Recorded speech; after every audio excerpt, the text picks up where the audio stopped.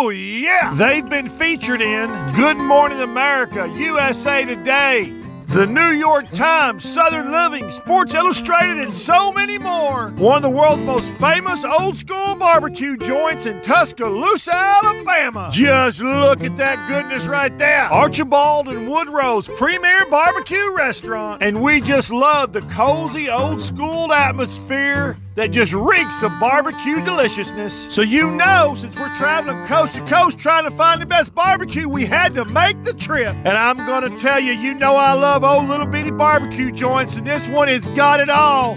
Those ribs, they got some voodoo on them. They are delicious, and their pork was succulent, savory, and simply pork-olicious.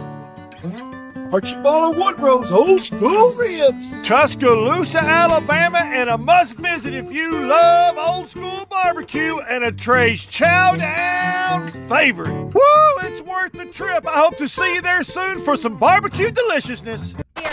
South Victory Plaza with the man that we turn to whenever we want to know what food is the best in the state of Texas. That is Trey Chapman of Trey'sChowdown.com. Best breakfast spots in North Texas with Trey's Chowdown. So, food expert Trey Chapman. Texans know beef, and if you're looking for the best steak in town, we called in the food expert Trey Chapman.